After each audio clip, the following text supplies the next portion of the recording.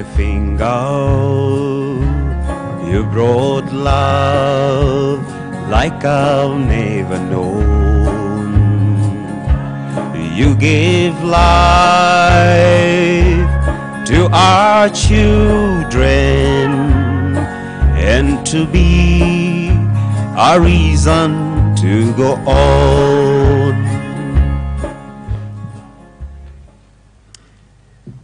Your Excellency, the President of the Republic of Kenya, Uhuru Muigai Kenyatta, Your Excellency, the Deputy President, Dr. William Ruto, Your Excellency, the former Prime Minister, Raila Odinga, all cabinet ministers, and all protocols observed. Good morning, it's still morning. Well, a lot has been said, and I won't say very much because we will just be repeating ourselves as family members because we enjoyed the same, same things all around. We already did a tribute, uh, the girls did a tribute for dad, which is in your programs.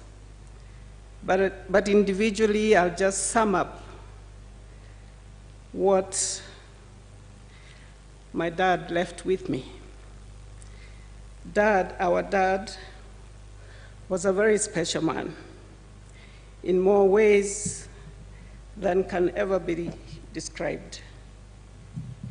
He instilled discipline in us, and he didn't favor anyone when you misbehaved, whether you were a boy or a girl. And I would like to uh, remind Mike that some of us girls got equal discipline as the boys. And uh, his love for music. I am proud to say that I was always the one he asked to go and purchase the music, especially Christmas time. We would drive from, he would give me a driver from Nyeri, and I would go to a shop that was on um, Moi Avenue, Assanands. Some of you from that, our contemporaries, might remember that. So I would go and make a selection.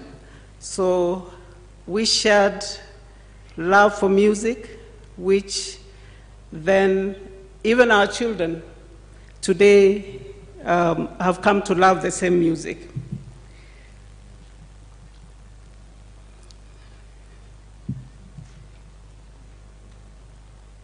He taught us to work hard. He taught us to be well groomed all the time.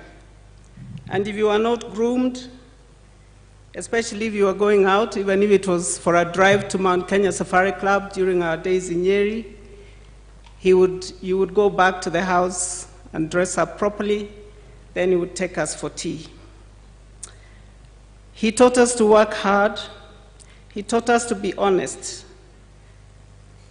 He taught us that whatever you do, do it as if it was your own work. Even if you are employed as a clerk or whatever job you took, do it like it was your own. And that saddens me today that sometimes uh, I, find, I found myself in um, positions where, where you're working with people, but they just are so casual because they say, yo sio kazi yangu. And I remind them that you are here to do what you have to do and move on. It doesn't have to be your work.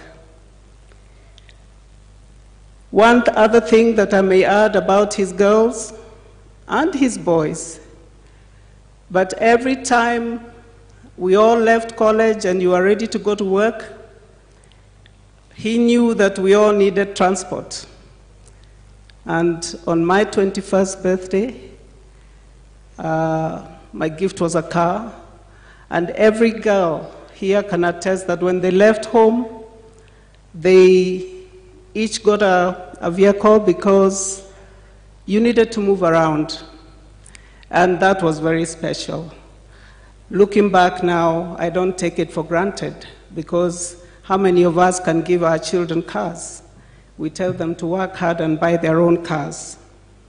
So he was a brave man. He was a very brave man, whether it was political challenges, and maybe we were running scared or were worried, he would tell us, Apana Ogopa, you live once. He handled every challenge so bravely that with time, we too learned to be brave. He did whatever he did without fear of favor. In our home, he didn't favor anyone. And like my sister Angela has said, he loved our mothers equally. And I would often um, tease them when I'd find them having tea all together and they say, You guys are really special. I couldn't do that.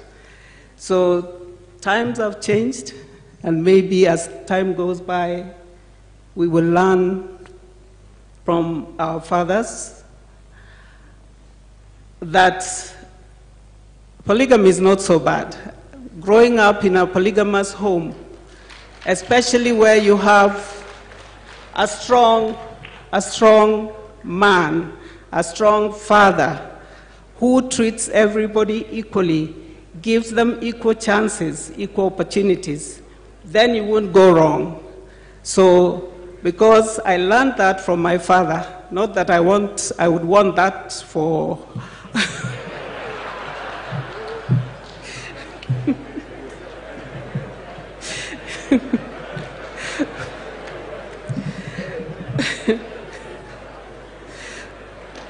but it is what it is. so, one of the bravest moments was when he was very sick, and I would go to see him, even in his last days in hospital, and I wanted to break down. I was weak, and he would say, God loves us, and God knows what the end result will be. So I would get encouraged. So, Dad, rest in peace, eternal peace, and we'll miss you forever. Thank you.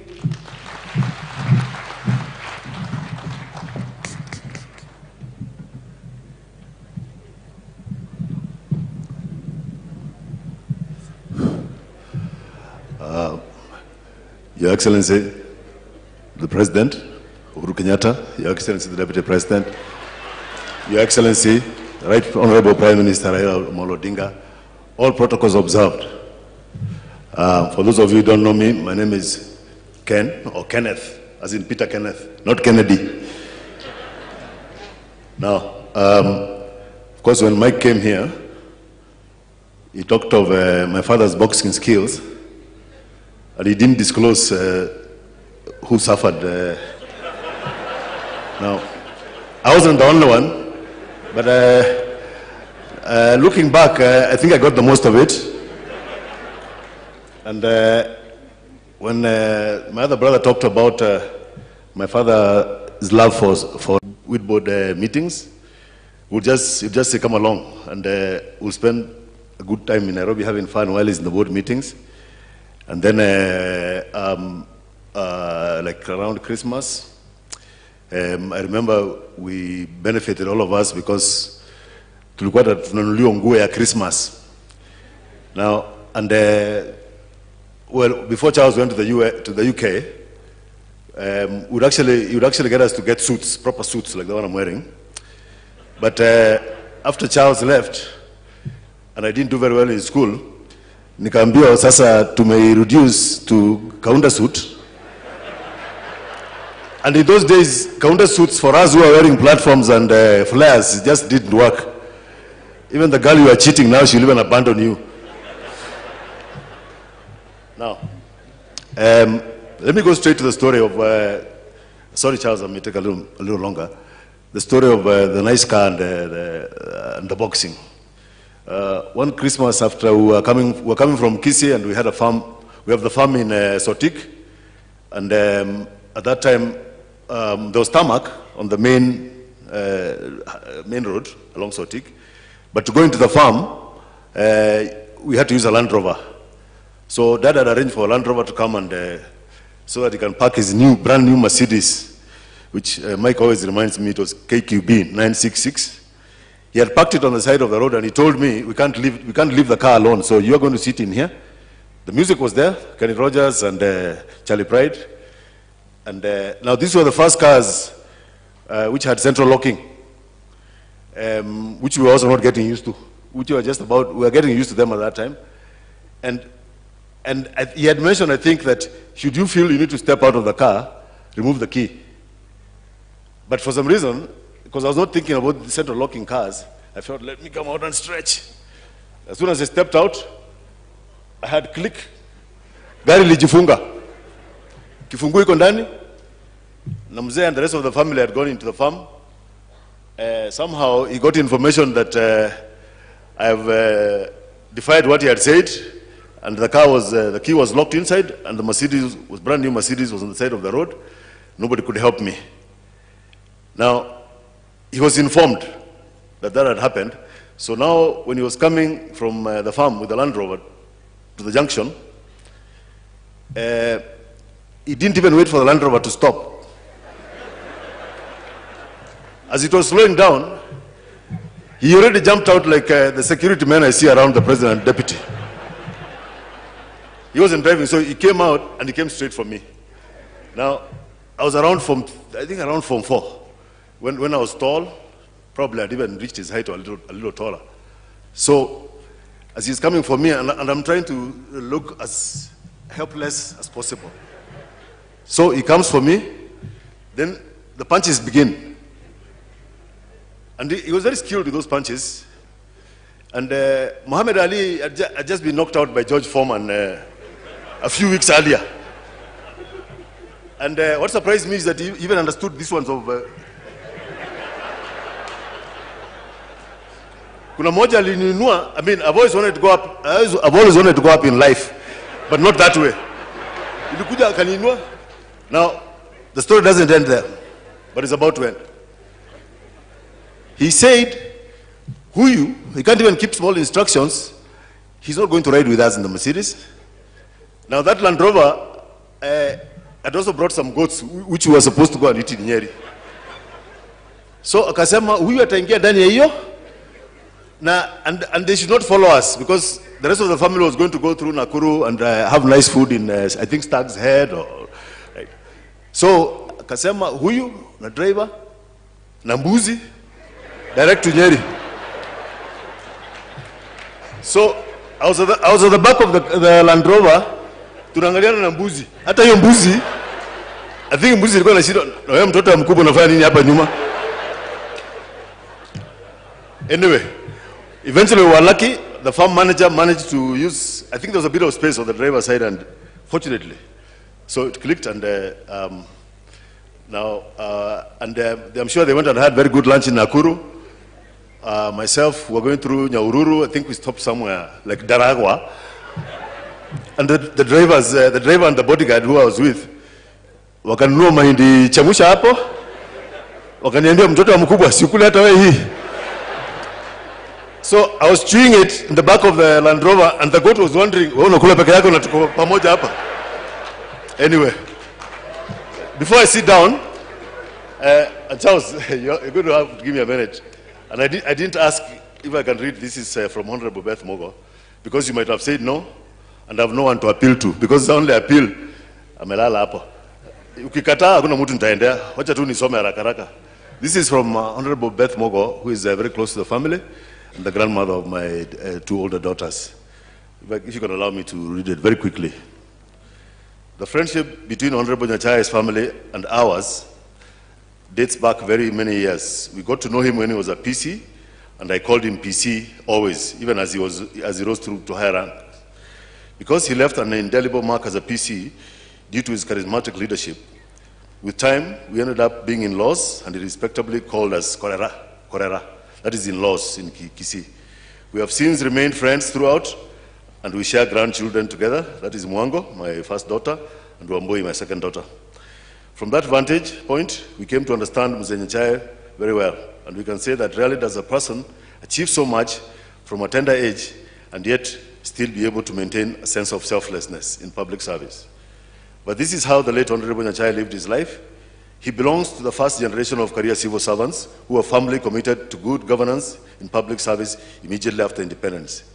In his long journey in leadership, he served this country with an equal perfection, never tiring to actualize his leadership abilities until his retirement. He has therefore left a rich legacy of commitment and dedication in leadership, as well as excellence in public service. This legacy is worth emulating by the younger generation in order to enrich governance and the, the quality of leadership of our country going forward. We join his family today in celebrating his life. During his difficult period, during, sorry, during this difficult period, it is our prayer that God will strengthen the family and give you fortitude to bear the loss. May mzee's soul rest in the loving arms of the Almighty God. Thank you. Mkitaka zingine, stories zingine nitawaambia baadaye. Asante. Watakaofuata ni Moses Nyachae, Chief Nyandusi Nya